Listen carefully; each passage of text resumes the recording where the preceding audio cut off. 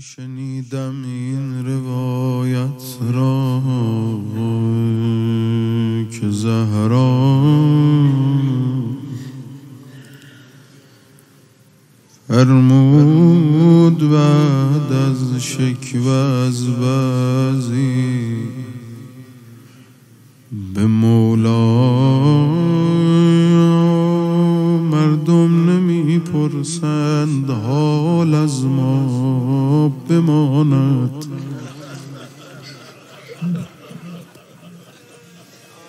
خسته شده امسای از زهرا. بماند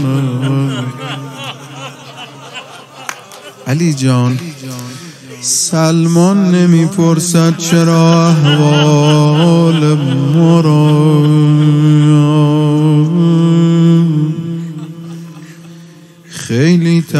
تعجب ماندم از کار دنیا. خوش به حال سلمان. دیدی اگر او را بگو چشم انتظارم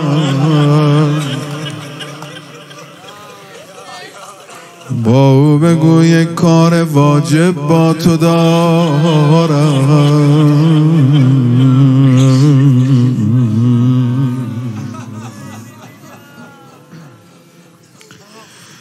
پیغام زهرا را به سلمان برد مولا سر پیش مولایش نمی آورد بالا. سلمان به مولا گفت از روی خجالت تنها نیامد خادمت سلمان ایادت از خجالت رفتار مردم مدینه ما شرم می‌کشیم. اگه نمیایم به این خونه سر بزنیم. سلمان به دیدار تمام نور آمد. ملک سلیمان بود مثل مور آمد. زهرا به او فرمود با اهل بیتی دوری نکن از ما که از ما اهل بیتی یک ظرف خرما داد صدیق به سلمان. پس این چنین فرمودان خاتون به مهمان. بعد از تناول ای مسلمان از دعایم با خود بیاور هسته هایش را برایم. سلمان به خانه بردان ظرف رتب را اما نمی‌دانست مقصود از طلب را. پس هرچه خورما خورد و هرچه میش ما مرد او با تعجب دید. پس هرچه خورما خورد و هرچه او بشمرد. او با تعجب دید که هسته ندارد. آمد دوباره محضر زهرای اطهر. پرسید علت را از آن جان پیمبر فرمود زهرا بعد گریه اون نجابت سلمان نمی آید کسی اینجا ایادت گفتم به این عنوان بیایی باز اینجا. این روزها تنها شده ام ابیها از در درد میپیچم به خود هموار هر شب. سلمان تا صبح بیدارم فقط از شدت تب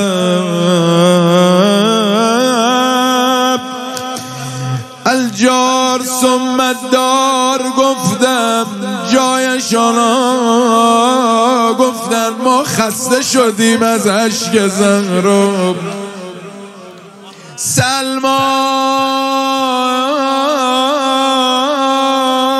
دعا کن زودتر حاجت بگیرم.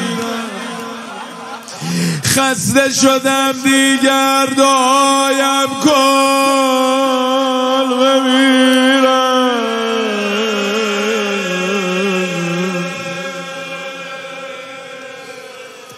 نه اینی که بی بی احتیاج داره این بی سر و پا بیان به یادتش نه اون روزنه امید هدایت برا مردمه.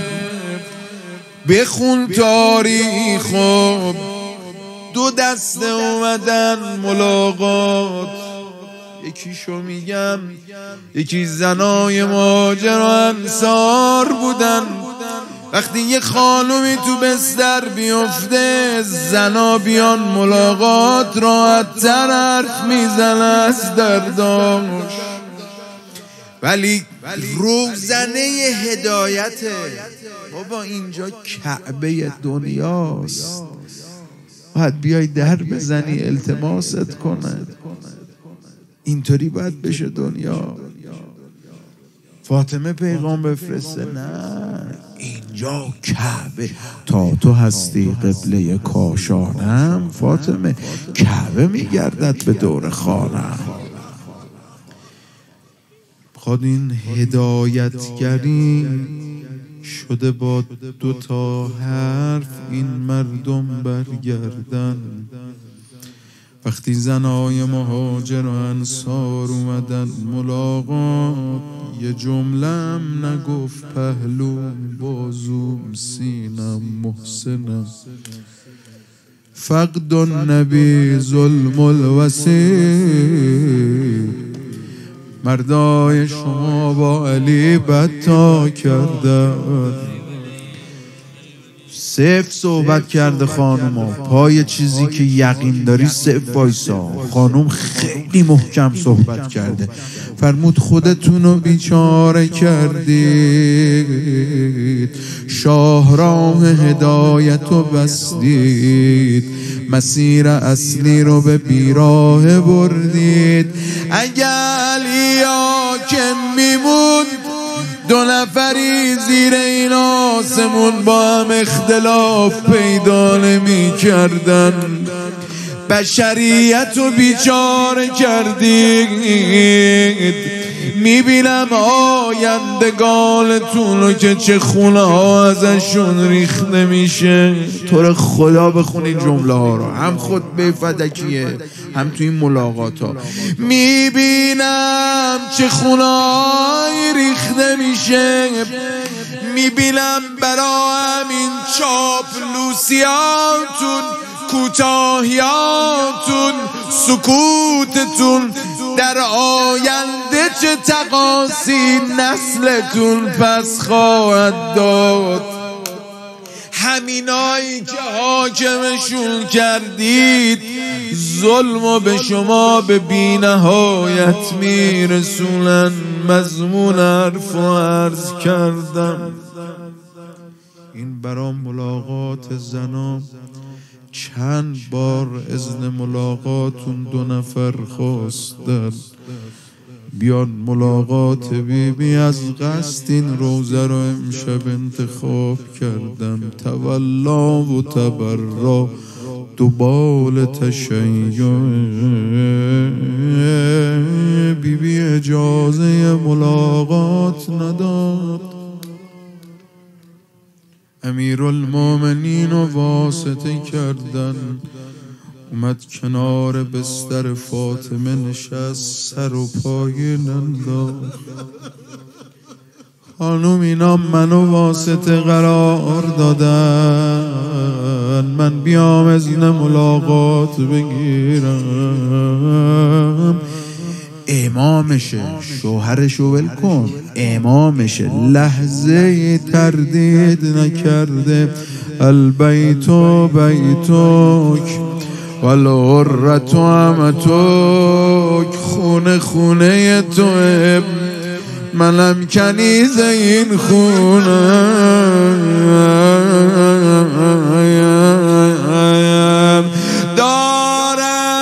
بلب. حالا مدن دارد بلب ها می‌رسد جانم.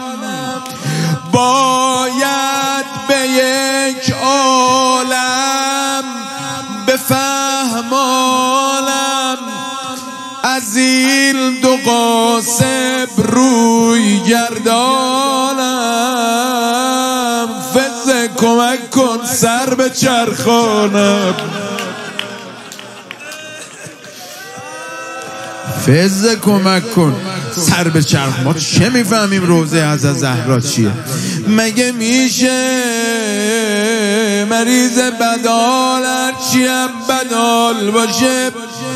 دیگه خودش سرشو می‌تونه به چرخونه. مگه این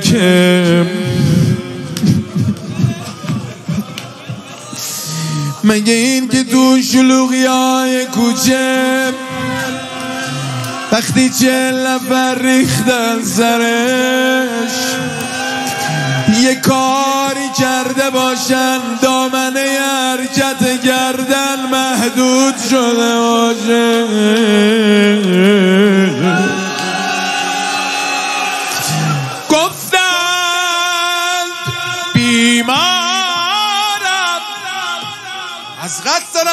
دارم می‌خونم تاریخ باید بشنوه. گفتن مرگ طبیعی. بیمار شده فاطمه. گفتن بیمارم جفا کردن. گفتن بیمارم جفا کارم تا سرپوش بگذارند مشعل به دستال گرم الکارند. اما منم که زنده بیمانم.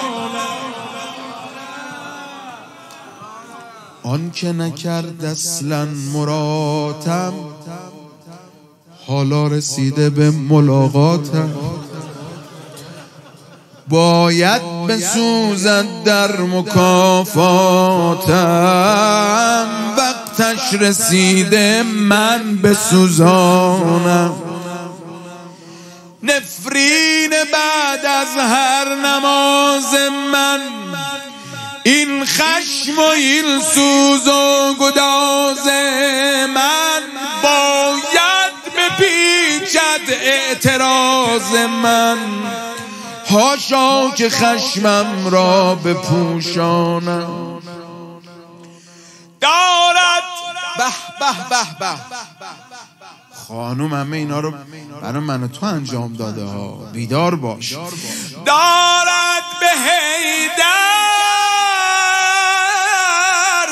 اقتدا زهرا. برده شکایت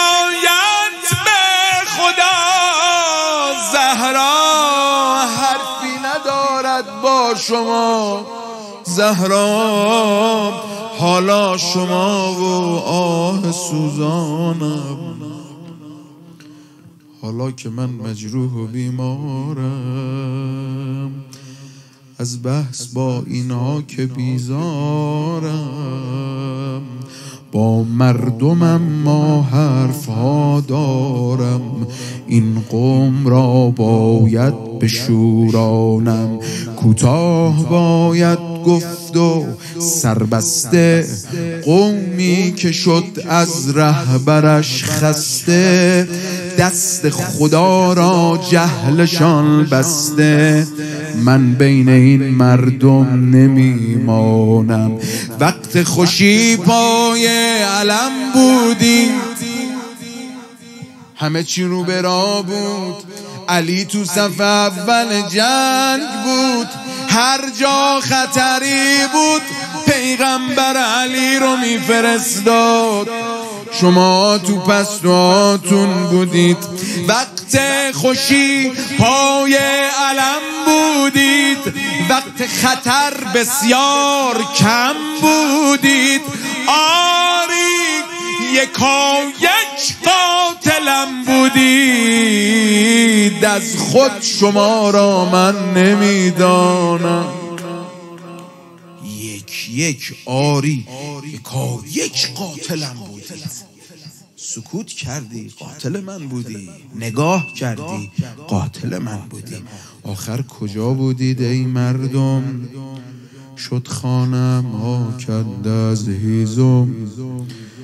نور خدا شد بین آتش گم. می در افتادند به جانم. اسلام را کشدید و بد کشدید با کینه و حرس و حسد کشدید امام زمان از می‌خوام. فرزند من را با لگت کشدید اینا مسلمانان مسلمانم.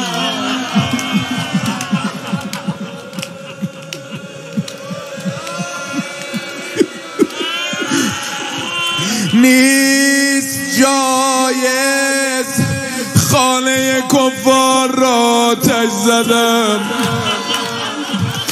نامسلمانان مسلمان بود زهرا یا جان دلم جان دلم. همین جا رو زن و نگه دارم. اومدن به ملاقات بیبی. بی. هر طرف بستر میشستن. بیبی سر و میچرخون با کمک قدمش. فزه بیازرم و برگردون. رفتن بیبی بی جلو روشون بهشون فرمود. گفت شنیدید بابام در حق من چه فرموداری شنیدیم. فاطمه پاره تن منه هر کی اون آزار بده من آزار داد آزار من آزار خداست شنیدیم. تصدیقشونو گرفت. فرمود خدا شاهد باش تو هر نمازم این دو نفر رو نفرین می‌کنم. تا زندم از این دو نفر راضی نیستم. به امیر المومنینم فرمود علی جان شب مرا تشی کن تا آن دو تن خیلی منابع رو بخونید. منابع میگه برای مردم که حالا بماند؟ برای مردم نبوده اینقدر اصرار داشت منو شب کفن کن شب دفن کن. میگه اصرار بیبی برای این دو نفر بود. میگه اینا نیان تشیه من. از قبر من اینا آگاه نشن. صورت نبست در دل ما کینه کسی. آینه هرچه دید فراموش می‌کند. فاطمه اینطوریه. برای همین مردم دعا می‌کرد. اما چیه این؟ چون راه هدایت و اینا بستن بیچاره کردن بشریت و فرمود تو هر نماز نفرینتون می‌کنم. رفتن از خونه بیرون. علی جان گفتی بیان گفتم چشم ولی فکر نکنین آمده بودن دلجویی اینا نیومده بودن ایاده پس چی خانومم؟ سن همینطورم هست. سیاد وقتی سیدو می‌زنه دنبال می‌کنه رد خولو می‌گیره. کجا سیدش از پا میافته؟ به طول کار رو تموم کنه. مقصد خاص عیادت نبود از بیمار. قاتلم آمده بر دیدن جان کلن